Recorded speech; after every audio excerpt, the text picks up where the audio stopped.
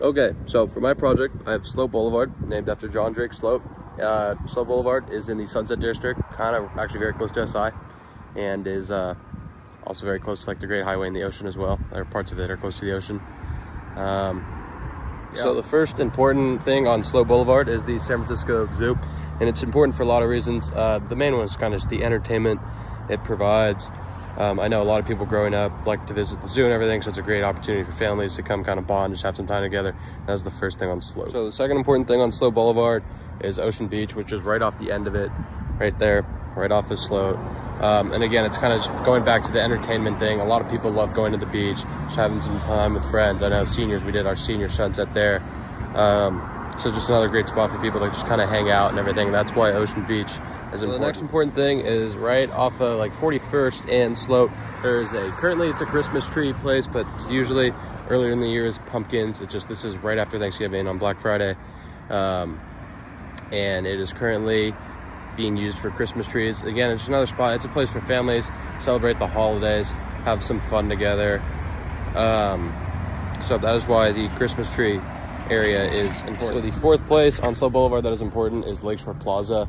Um, I know personally it's very popular with SI kids. I could go here during like an X period on a Tuesday or Friday and there's basically a 99% chance I'll see someone from SI here. Um, there are a ton of different restaurants as well as like a Big Five, looks like a Ross, um, um, a grocery store. So it's just a very kind of accessible spot for people who need it and also it's a place to go hang out and have fun together. Um, so that is the fourth spot that uh, for Sloat Boulevard. And I forgot to reference this is Sloat or Lakeshore Plaza. The fifth spot, sorry, on Sloat Boulevard that is important is the Merced Manor Reservoir, which is right behind me. Um, reservoirs are obviously very important for any ecosystem because of the water supply it provides and also holds in the event of emergencies or and whatnot. Um, so this reservoir is no different. Um, I've also seen people hang out here. It's actually very nice outside. Um, like great building right there, beautiful architecture. Um, so that is the fifth spot. And then finally, I have a sixth spot in case the ocean was somewhat controversial.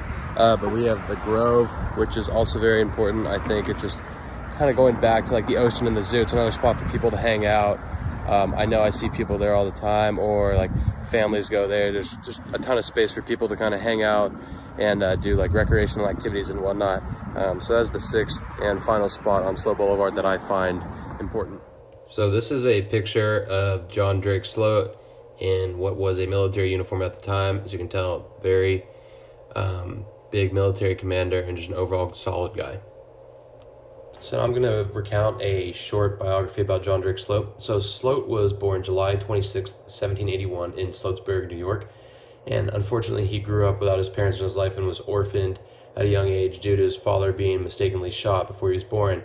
And his mother died a few years uh, after Sloat was born. So Sloat only got to enjoy the presence of his mom for a couple of years before he was raised um, by his grandparents. And as he grew up, he moved to New York City at just age 19 on his own.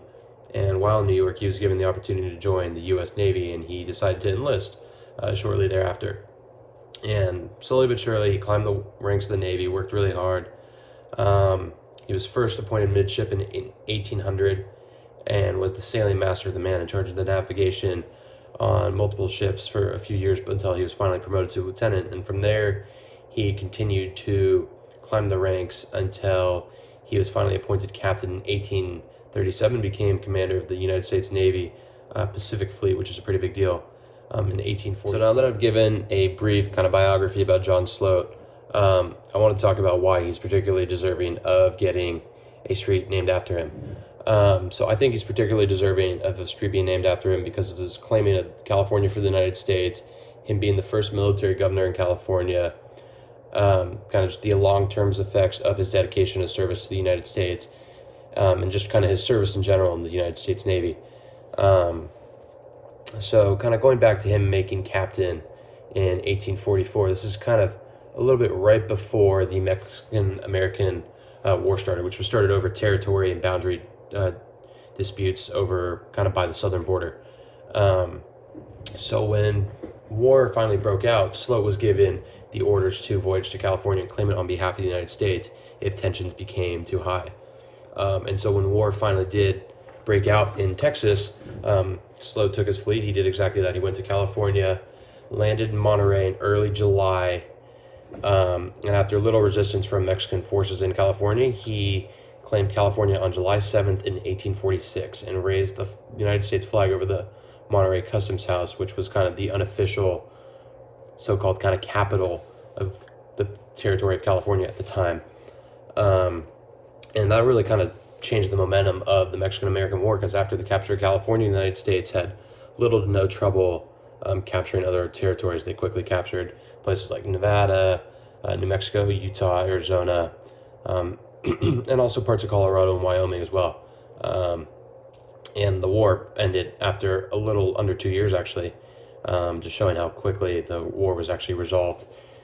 Um, and kind of the long-term effects of this capture included like the United States then having access to the gold rush, which only happened a few years later.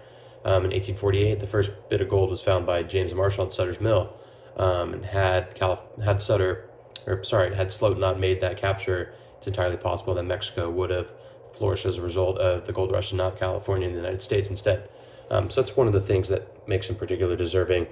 Um, in addition to that, he was also given the role of military governor of California, which is essentially the person in charge of overseeing the military and its respective like politics and policies within California. Um, and while he kind of stepped aside and stepped down and handed the that role over to Robert F. Stockton, um, he was the first military governor of California, which makes it pretty special. Um, and this is he only stepped down because of his health issues. It wasn't that he was a unpopular person or anything. It's just he had to step down due to health issues, um, which also made him kind of give up control of the Pacific Fleet as well. Um, those are kind of the two main reasons I think he's particularly deserving of a street sign.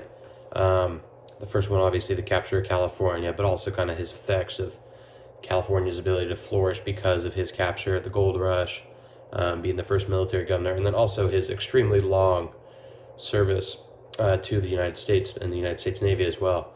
Um, from he served in the military for over 65 years. He went from 1800 to 1866 um, when he retired as rear admiral, which is a very, very good um, ranking within the United States Navy. So those are just the reasons why I think he's deserving of a street sign. So for a local ce- celebrity who I think is deserving of a street sign, I would say Buster Posey, and I'll touch on why I think that in a second. Um, so I think Buster Posey is particularly deserving of a street sign, um, kind of in a similar capacity to what the Giants have done before for former baseball stars for their organization. Um, but I think he does, he's a little bit more deserving. Um, first off, just the contributions he made athletically to the team. I mean, three World Series in five years is nothing um, to laugh about. It's very impressive and extremely hard to do. Um, and he's just a phenomenal player, extremely talented, just overall very good guy. But more importantly, um, Buster Posey and his wife have the BP 28 Foundation, um, which was started by Buster and his wife, Kristen. Um, and they work to help kids, to help with kids who have pediatric cancer by raising awareness and like funding, um, funding research and treatments and potential treatments. Um, so I think just kind of that's the really the main reason why I think he's deserving of the sign is many athletes have a platform and don't choose to do anything with it. Um, but I think him having that foundation really speaks to him as a person and shows how like truly good natured and well intentioned he is. Um, he's not just another athlete who just like just plays baseball and whatever makes a ton of money, um, but he actually does something with that. Um, and he's made a ton of donations to his foundation, and he's done um, events, charities, all sorts of things, charitable events. Sorry, um, and it really just speaks to him as a person why he's particularly deserving of a street sign in San Francisco. So thank you for watching my presentation. I hope you really enjoyed uh, learning about John Sloat as well as why I think Buster Posey um, is deserving of a street sign. And yeah, thank you.